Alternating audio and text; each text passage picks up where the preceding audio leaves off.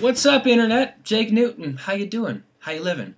Got a bunch of stuff to talk to you about. Let's get started. Number one, I'll be going on tour with Garrison Starr in February and a little bit in March. You guys can check out all the dates at jakenewton.com or at garrisonstarr.com. If you haven't heard Garrison, oh my she's awesome. Check her out. Look her up on iTunes. Look her up on Spotify. Do it. Go. I don't even care. Click out of this window. Wait, don't click out of this window yet. Number two, awesome news. I'm playing South by Southwest 2012, yo. yeah. This is awesome. No, South by Southwest is a pretty big deal, especially for an independent artist. It's a chance to get down and mingle with a bunch of fellow artists in the industry and play in front of tons and tons of people. It's held in Austin, Texas between most of March. I don't know, I don't have my calendar in front of me. I'll be playing March 16th at the Desio Lounge, absolute riot. Come check it out. In related South by Southwest stuff, I'll be discounting a bunch of merch at jakenewton.com to help me get there, because plane rides are very expensive.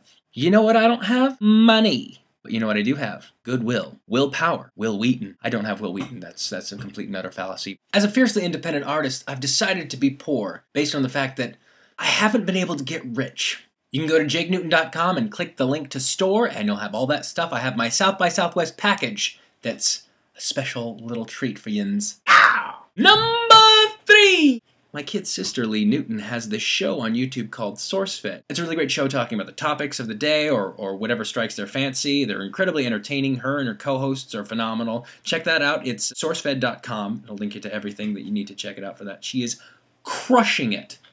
Pow! Everybody loves her, and of course, I knew they would. Number four.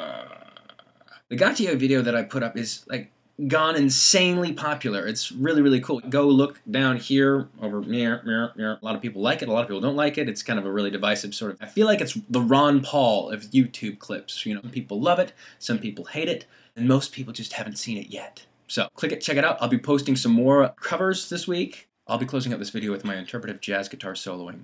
Baby,